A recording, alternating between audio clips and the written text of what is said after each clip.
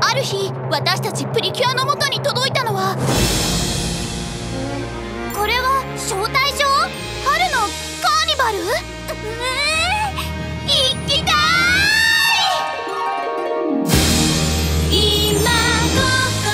この春歌とダンスの国ハルモニアにプリキュアオールスターズが大集合！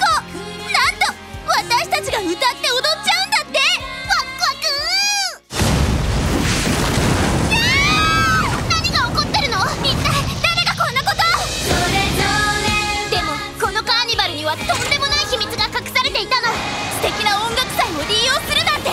私たちプリキュアがハルモニアの平和を絶対取り戻す。プ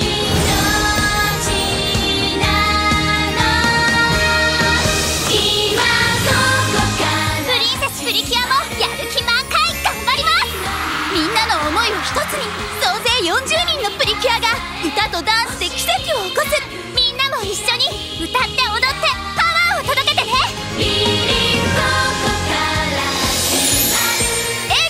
プリキュアオールスターズ春のカーニバル」3月14日新しいオールスターズが始まる。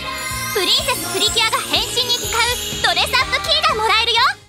前売り券を買うとプリンセスおしゃれバッグシュシュがついてくる。ピンクとブルーどっちにするか